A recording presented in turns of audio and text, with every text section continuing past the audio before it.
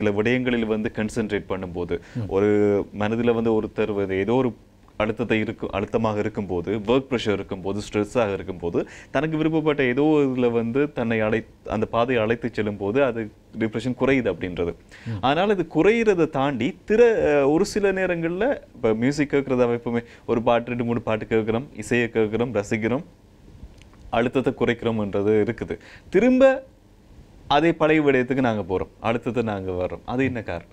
சாதாரணமாக இப்படி அதாவது ஒரு மனிதன் ஒவ்வொரு நாளும் அழுத்தங்களை சந்திக்கிறான் எந்த ஒரு மனிதனும் அழுத்தங்களை சந்திக்காத மனிதன் உலகத்தில் யாருமே கிடையாது. அது எந்த தொழில் செய்கின்ற ஒருவராக இருக்கலாம். அது ஒரு வைத்தியராக இருக்கலாம். ஒரு ஊடகவியலாளர் இருக்கலாம். யாராக இருக்கலாம். ஒவ்வொரு மனிதனுக்கும் அன்றாடம் அவனுடைய வாழ்க்கையிலே வந்து நிறைய அழுத்தங்கள் இருக்கிறது. இந்த அழுத்தங்களை முகா முகாமைத்துவம் செய்து கொள்வதற்கான சரியான ஒரு பிளானிங் அவருக்கு இருக்க வேண்டும். சரியான ஒரு திட்டமிடல் இருக்க வேண்டும். சாதாரணமாக நீங்கள் பார்த்தீங்கன்னு சொன்னால் ஒரு மனிதனுக்கு ஏன் அழுத்தம் வருகிறதுன்னு சொல்லி பார்க்க நேரம் அழுத்தத்துக்கு வரைவிலக்கணம் ஒரு விஷயம் இருக்கிறது. அழுத்தம்ன்றது என்னென்றால் ஒரு மனிதனுக்கு இருக்கிற தேவைகள் ஒரு மனிதனுக்கு இருக்கிற நீட்ஸ் அதே போல் ஒரு மனிதனுக்கு ஒரு மனிதரிடம் இருக்கின்ற ரிசோர்சஸ் வளங்கள். இந்த குறிப்பிட்ட வளங்களை எப்படி இந்த தேவைகளுக்காக சரியான முறையில் பயன்படுத்துவது என்பதில் இருக்கிற முரண்பாடு தான் ஒரு மனிதனுக்கு வருகின்ற அழுத்தம். சரிதானே? இப்போ சாதாரண உதாரணமாக சொல்கிறேன்னால் இப்போ எங்களுக்கு தெரியும் இப்போ ஓலவெல் பரீட்சை நடைபெற இருக்கிறது ஜனவரி மாதம் பதினைஞ்சாம் தேதி நடக்கிறது அப்போ இப்போ இந்த கொரோனா காலங் காலங்களில் வந்து ஒரு மூன்று நாலு மாதங்கள் வந்து பாடசாலைகள் ஐந்து மாதங்களாக பாடசாலைகள் ஒழுங்காக நடக்கவில்லை சரியான சிலபஸ் வந்து கவர் பண்ணப்படவில்லை படவில்லை என்கின்ற ஒரு பிரச்சனை இருக்கிறது. அதே போல் இந்த ஏலவெல் பரீட்சை செய்கின்ற மாணவர்களாக இருக்கலாம். இவர்களை பொறுத்தவரையில் இப்போது இருக்கிற பிரச்சனை என்ன என்னென்றால் நான் இந்த பரீட்சைக்கு முன்னாடி எப்படி இந்த எல்லா சிலபஸையும் படித்து முடித்து நான் வந்து பரீட்சைக்காக தயாராக போகிறேன். அப்போ இருக்கிற காலம் வெறுமனே ஒன் ஒன்றரை இரண்டரை மாதங்கள் தான் மீதம் இருக்கிறது. ஆனால் படிக்க வேண்டிய பரப்பு நிறைய இருக்கிறது. இப்போ இந்த குறிப்பிட்ட நீட்ஸ் அதாவது நீட்ஸ் என்ன நிறைய படிக்க வேண்டுமென்றது இருக்கிற ரிசோர்சஸ் குறைவு.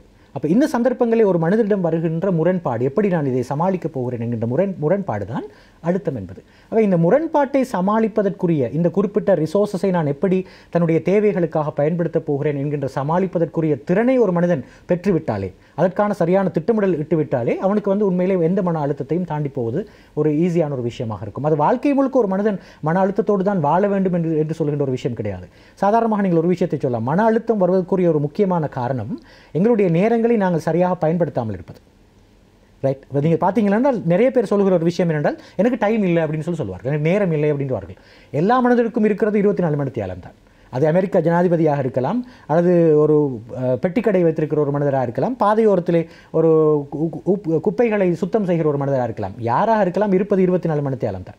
இருபத்தி நாலு மணித்தியாலத்தை நான் எப்படி என்னுடைய வாழ்க்கைக்கு தேவையான விஷயங்களை படித்துக்கொள்வதற்காக கற்றுக்கொள்வதற்காக தொழில் நிமித்தமாக குடும்பத்திற்காக நான் எப்படி செலவழித்துக் கொள்கிறேன்? எப்படி நான் அதை பயன்படுத்தப் போகிறேன் என்பதுதான் வாழ்க்கையினுடைய வெற்றியே இருக்கிறது. பிரச்சனை என்று சொன்னால் நாங்கள் நிறைய சந்தர்ப்பங்களிலே அண்மையிலே செய்யப்பட்ட ஒரு ஆராய்ச்சி சொல்லுகிற சொல்லுகிறது என்று சொன்னால் மிக அதாவது ஒவ்வொரு நாளும் ரொம்ப பிஸியாக வேலை செய்கின்ற ஒரு மனிதராக இருந்தாலும் கூட அவருடைய சரியாக இருபத்தி நாலு மணித்தியாலங்கள் சரியாக பரீட்சித்து பார்க்கிற நேரம் அவருடைய வாழ்க்கையிலே ஒவ்வொரு நாளும் அவர் ஆக குறைந்தது மூன்றிலிருந்து நான்கு மணித்தியாலங்களை அவர் வேஸ்ட் பண்ணுறார் சரியா? தூக்கத்துக்காக வேலை நாங்கள் சில நேரம் ஒரு மனிதன் தூங்க வேண்டிய நேரம் இருக்கிறது. ஒரு மனிதன் சரியாக தூங்க வேண்டிய நேரம் இரவு பத்து மணிலிருந்து காலை ஐந்து மணி வரைக்கும். இதுதான் சரியான ஒரு மனிதனுடைய தூக்கத்துக்குரிய நேரம். என்றால் இந்த சந்தர்ப்பங்களிலே தான் ஒரு மனிதனுடைய ஒரு மனிதனுடைய ஆரோக்கியத்துக்கு தேவையான அவனுடைய மனிதனுடைய ஒழுங்கான செயற்பாட்டுக்கு தேவையான எல்லா வகையான ஹோமோன்களும் சுரக்கிற நேரம் அது. ஆனால் நீங்கள் பார்த்தீங்கன்னு சொன்னால் நாங்கள் யாருமே அந்த அந்த மணிக்கு வந்து தூங்குறது கிடையாது. நாங்கள் மேக்ஸிமம் நாங்கள் ஃபோனை எக்ஸ் எவ்வளோ தான் யூஸ் பண்ண முடியுமோ அவ்வளோ யூஸ் பண்ணி விட்டுட்டு அதுக்கு பிறகு பெட்டில் படுத்துட்டும் யூஸ் பண்ணுவோம். பெட்டில் ஃபோன் யூஸ் பண்ணுறதே அவருடைய தூக்கத்தை போஸ்ட்போன் பண்ணுறதுக்கான இன்னொரு காரணம். அப்போ சா சாதாரணமாக பத்து மணிக்கு தூங்க வேறியவர் பன்னிரெண்டு மணி ஒரு மணி ரெண்டு மணி மூன்று மணிக்கு தூங்குறவர் இருக்கிறார். அப்போ என்ன செய்யணும்னால் காலையில் அவர் விழித்தெழுற நேரம் வந்து லேட் ஆகும். அப்போ காலையில் விழித்தருகிற நேரம் லேட் ஆகிற நேரம் அவருக்கு அன்றைக்கு காலையிலிருந்து செய்ய வேண்டிய வேலைகள் எல்லாமே பிற்போடப்படும் அவை அவர் அழுத்தத்தை நீங்கள் சொல்வது போல ஏற்படுத்திக் கொள்கிறார் தனக்குள்ளே.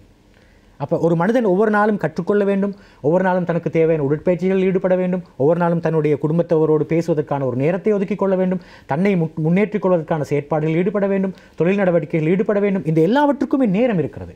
இந்த நேரத்தை சரியாக வரையறை செய்ய முடியாவிட்டால் அதை சரியாக திட்டமிட முடி- முடியாவிட்டால் நீங்கள் சொல்வது போல் எப்போதுமே மன அழுத்தம் இருக்கும். எப்போதுமே அவர்கள் இந்த மாதிரியான செயற்பாடுகளை செய்வார்கள். திரும்பவும் மன அழுத்தத்துக்கு போய் கொண்டிருப்பார்கள்.